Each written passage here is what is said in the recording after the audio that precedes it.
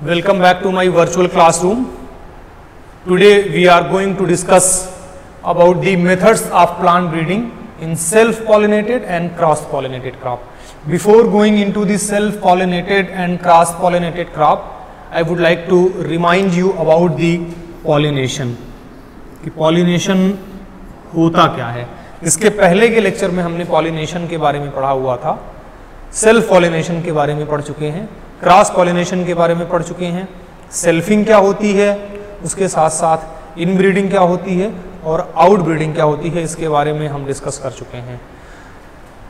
Method discuss करने के पहले कुछ प्लांट्स के, कुछ क्रॉप प्लांट्स के नाम हम यहाँ पे लिख देते हैं, जिससे ये पता चल जाए कि कौन कौन सी ऐसी मेजर क्रॉप्स हैं जिनमें सेल्फ पॉलिनेशन होता है और कौन कौन सी ऐसी मेजर क्रॉप्स हैं जिसमें क्रॉस पॉलिनेशन होता है। धान is a self pollinated crop गेहूँ it is also a self pollinated crop barley it is also a self pollinated crop इसके साथ साथ tomato potato linseed etcetera these are self pollinated crop पपीता, maize, मक्का cucurbits जिसमें खीरा, लौकी, खोड़ा, कद्दू आते हैं। These plants are cross pollinated इनमें क्रॉस पॉलिनेशन होता है। कुछ ऐसे भी सेल्फ पॉलिनेटेड क्रॉप्स हैं, जिनमें क्रॉस पॉलिनेशन भी होता है। जैसे ट्रिटिकेल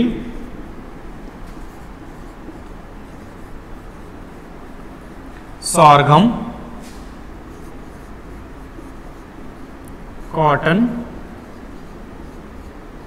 टोबैको ये ऐसे प्लांट्स हैं जिनमें सेल्फ पॉलिनेशन भी होता है और क्रॉस पॉलिनेशन भी होता है।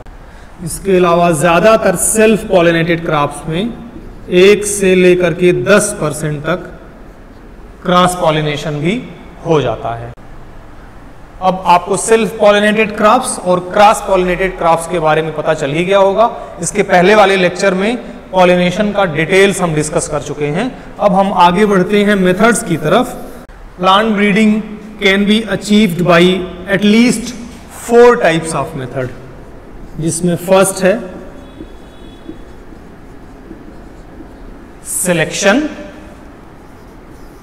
second is plant introduction and acclimatization. Third is the hybridization. And last but not least is the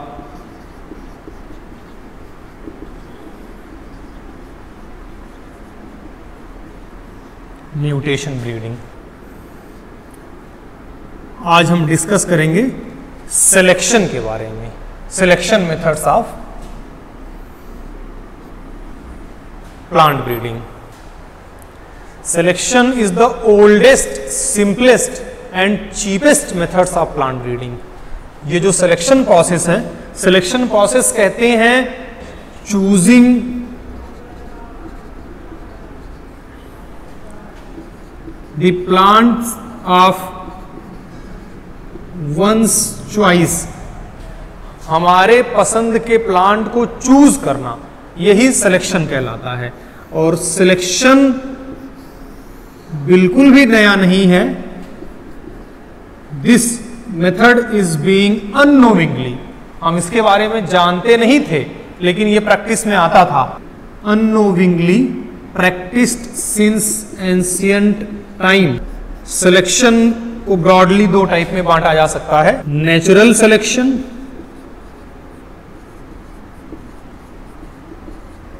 and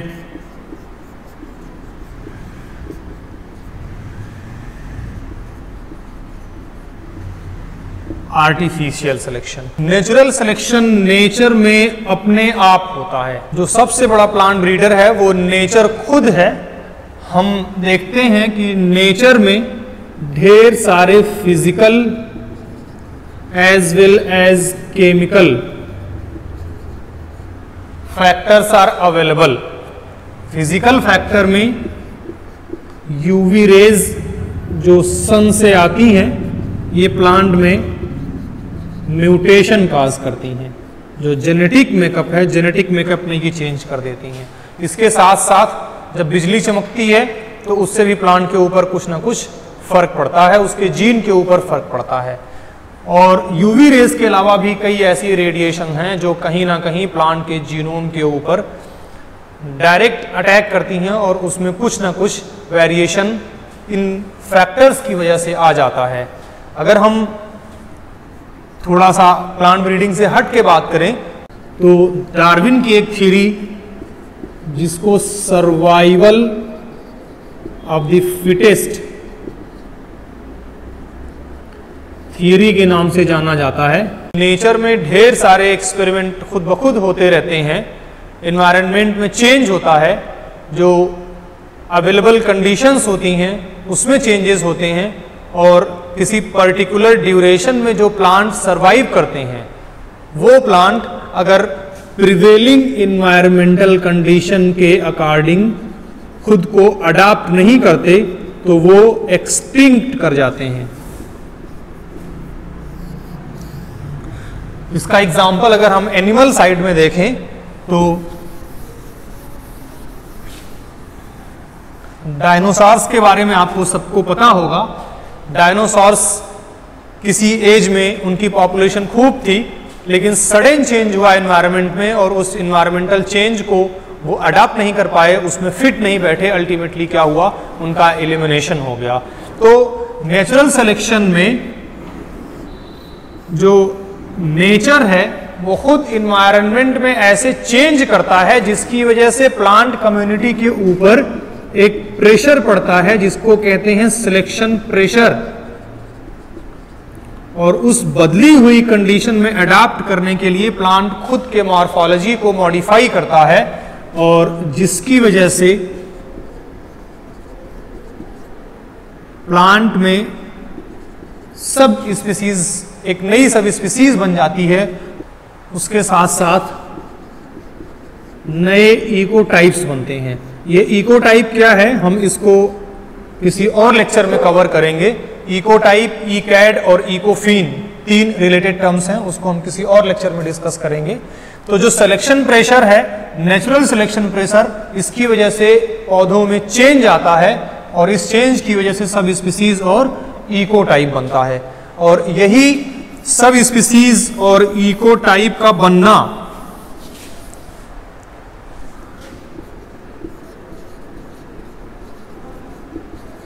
variation की वजह से होता है। These variations are basis of plant breeding programme are selection अब हम बात करते हैं आर्टिफिशियल सिलेक्शन के बारे में।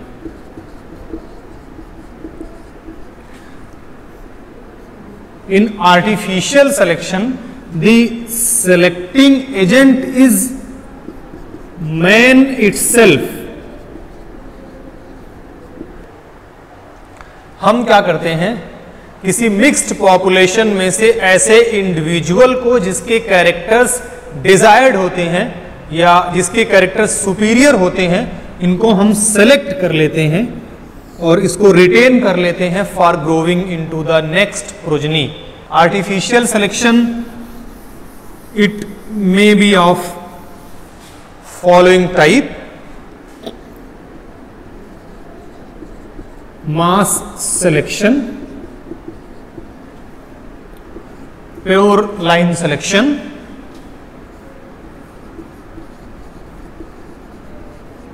progeny selection, and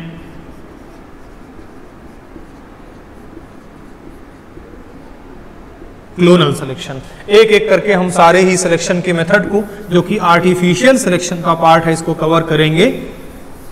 शुरू करेंगे हम। मास सिलेक्शन से। मास सिलेक्शन का प्रोसेस इतना कॉमन ओल्ड और इजी है कि आप में से जिनके यहाँ खेती होती होगी, उन लोगों ने ज़रूर ये ऑब्ज़र्व किया होगा कि हम ये देखते हैं कि किसी के फ़ील्ड में या किसी के फार्म में कोई अच्छी क्रॉप है। फॉर एग्ज़ाम्पल हम अगर गेहूँ की बात करें तो गेहूँ के ऐसे प्लांट हमारा पड़ोसी ग्रो करा रहा है जिसमें हमसे ज़्यादा उपज आ रही है और उसके जो ग्रेन्स हैं, उसकी साइज़ भी काफ़ी हेल्दी है। तो हम क्या करते हैं यूजली उसके हार्वेस्ट में से, उसमें से थोड़ा सा हम खरीद लेते हैं। और खरीद के क्या करते हैं नेक्स्ट सीज़न में हम उसको ग्रो करवाते हैं। इसी फ़ील्ड पॉपुलेशन में से कुछ ऐसे ग्रेन्स को सेलेक्ट करना चूज़ करना और उसको नेक्स्ट जनरेशन में ग्रो कराना, यही सिलेक्शन है। और मास सिलेक्शन का मतलब ये हुआ कि इसको हम बल्क में करते हैं, इसमें किसी तरह की कोई टेस्टिंग नहीं होती और किसी पर्टिकुलर प्लांट को जिसको हमें सेलेक्ट करना होता है, उसको अलग से नहीं ग्रो करवाते, उसके सारे ही प्रोड्यूस को या जितने भी ग्रेन्स होते हैं, उसकी बल्किंग कर देते हैं, उसकी मिक्सिंग कर देते हैं और उसको फिर ग्रो करवाते हैं। मास सिलेक्शन की मेथड में कोई नया जीनोटाइप नहीं बनता। प्लांट के जेनेटिक कंटेंट में कोई नॉवेलिटी नहीं आती है। और मास सिलेक्शन की मेथड को हम अप्लाई कर सकते हैं self as well as cross pollinated crop के लिए। दोनों ही टाइप के प्लांट जिनमें सेल्फ पॉलिनेशन होता हो या जिनमें क्रॉस पॉलिनेशन होता हो, दोनों में ही इस मेथड को हम अप्लाई कर सकते हैं। मास सिलेक्शन मेथड से किसी नई वैरायटी को डेवलप करने में एटलीस्ट सेवन ईयर्स लगते हैं। पहले स्टेप में हमें क्या करना होता है? किसी पॉपुलेशन को सेलेक्ट करना होता है और उस पॉपुलेशन में ऐसे इंडिविजुअल जिनमें डिजायर्ड या सुपीरियर फिनोटिपिक ट्रेट हैं। फिनोटिपिक ट्रेट का मतलब मॉर्फोलॉजिकली जो हमें नेकेड आई से दिख जाते हैं विदाउट एनी जेनेटिक कंटेंट और एनालिसिस उसको फिनोटिपिक ट्रेट या कैरेक्टर कहते हैं। मिक्स्ड पॉपुलेशन से ऐसे इंडिविजुअल्स को सेलेक्ट करना होता है, जिनमें सुपीरियर कैरेक्टर्स हों और इस तरह से हम 100 से 1000 इंडिविजुअल को सेलेक्ट करते हैं। और इसको सेलेक्ट करने के बाद इसका जो प्रोडक्ट या प्रोड्यूस है for example grains of wheat in grains को हार्वेस्ट करते हैं और हार्वेस्ट करने के बाद इसकी बल्किंग कर देते हैं या आपस में इसको मिक्स कर देते हैं। पता ना चले कि कौन सा ग्रेन किस इंडिविजुअल प्लांट का है। This is the plan of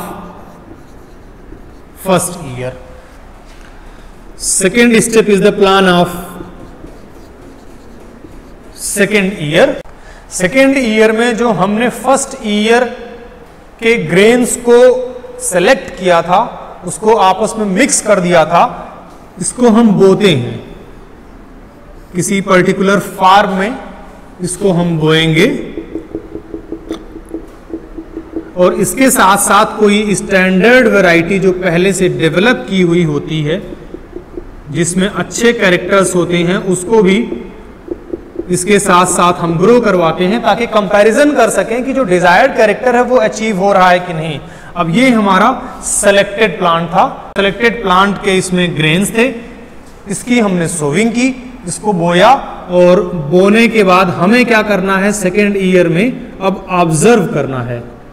ऐसे इंडिविजुअल्स को जिनमें हमारा डिजायर्ड कैरेक्टर शो हो रहा है। फॉर एग्ज़ाम्पल यहाँ पे हमें जो बड़े डाट वाले प्लांट हैं, इसमें कैरेक्टर वो शो हो रहा है। तो बाकी वो क्या करेंगे? हम डिस्कार्ड कर देंगे। हम सिर्फ़ इन्हीं प्लांट को लेंगे जिनमें हमारा डिजायर्ड कैरेक्टरिस्टिक्स दिख रहा है या डिजायर्ड फिनोटाइप दिख रहा है। बाकी को डिस्कार्ड कर देंगे और ये जो प्लांट्स हैं, इसकी हेड को या इसके ग्रेन को फिर से हम एक बार क्या करेंगे? हार्वेस्टिंग करेंगे, उसकी थ्रेशिंग करेंगे और उसको आपस में मिक्सिंग कर देंगे या बल्किंग कर देंगे।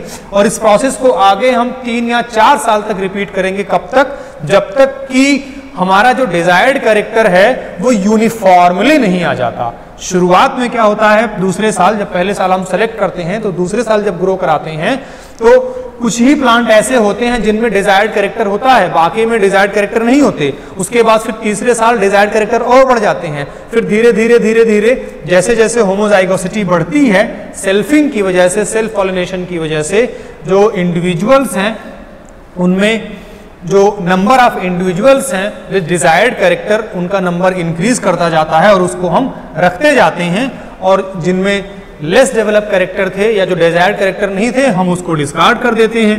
तो एक तरह से वहीं पे वो छूट जाता है।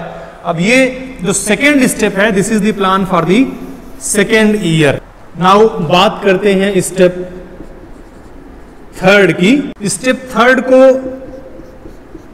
तीसरे, चौथे और पाँचवें साल में रिपीट करते हैं। जो फ़र्स्ट और सेकेंड ईयर का प्लान था जिसमें अच्छे ग्रेन वाले इंडिविजुअल को सेलेक्ट करके उसको आपस, उसकी थ्रेशिंग करके, उसको आपस में मिक्स करके, उसको ग्रो कराते थे, जो डिजायर्ड कैरेक्टर वाले प्लांट होते थे, उन्हीं को रेज करना, उसके बाद फिर जिनमें कैरेक्टर डिजायर्ड नहीं है, उनको उनको छोड़ देना और फिर उसको अगले जनरेशन में बोना और इसी प्रोसेस को स्टेप थर्ड में हम तीसरे, चौथे और पाँचवें साल तक रिपीट करते हैं।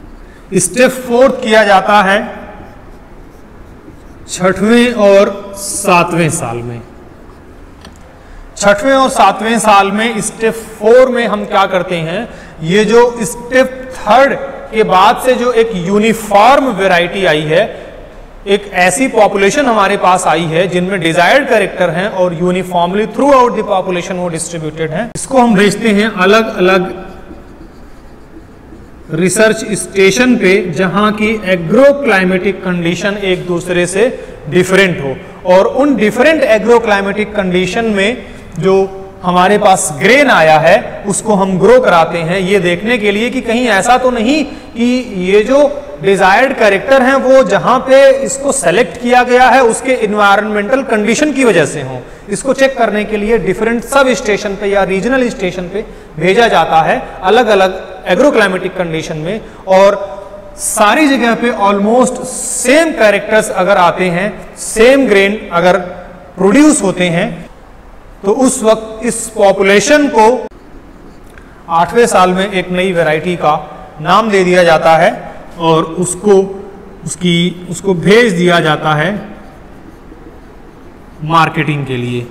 तो हमने ये देखा कि मास सिलेक्शन में किसी भी तरह के जीन या जेनेटिक एनालिसिस की कोई कहीं से बात नहीं आ रही है। जितने भी कैरेक्टर्स हैं वो सारे ही फिनोटिपिक कैरेक्टर हैं। जो मॉर्फोलॉजिकल कैरेक्टर हैं, उसके बेस में हमने सुपीरियर प्लांट के ग्रेन को सेलेक्ट किया, उसको आपस में मिक्स किया। मिक्स करने के बाद उसको फिर फिर से बोया। फिर से जो अच्छे प्लांट आए, उनको सेलेक्ट करके उसको हमने मिक्स किया और बोया। इस प्रोसेस को हम सात साल तक करते हैं। सात साल तक करने के बाद जो एक यूनिफॉर्म वैरायटी आती है, उसकी मार्केटिंग कर देते हैं और उसको एक नया नाम दे देते हैं कि this is the particular new variety which is develop by the mass selection अब हम बात करते हैं मास सिलेक्शन के मेरिट्स के बारे में। तो मास सिलेक्शन मास सिलेक्शन का सबसे बड़ा जो मेरिट ये है कि it is the simplest easiest and cheapest method और इस मेथड में किसी भी तरह के जेनेटिक एनालिसिस की ज़रूरत नहीं पड़ती। और जो तीसरा मेरिट है, उसमें यह है कि हमें पॉलिनेशन को कंट्रोल नहीं करना पड़ता। जितने भी प्लांट्स होते हैं, उसको हम छोड़ देते हैं कि आपस में उसमें पॉलिनेशन हो सके, और यूजुअली सेल्फ पॉलिनेशन ही होता है। इसको हमने इसके पहले वाले लेक्चर में बताया था सेल्फिंग कहते हैं या इनब्रीडिंग कहते हैं। मास सिलेक्शन ही एक ऐसी मेथड है जिससे लोकल या वाइल्ड वैरायटीज को इंप्रूव किया जा सकता है। अब हम बात करते हैं मास सिलेक्शन के डी मेरिट्स की। मास सिलेक्शन का सबसे बड़ा जो डीमेरिट है, वो ये है कि इस मेथड से प्लांट का जेनेटिक मेकअप इंप्रूव नहीं होता।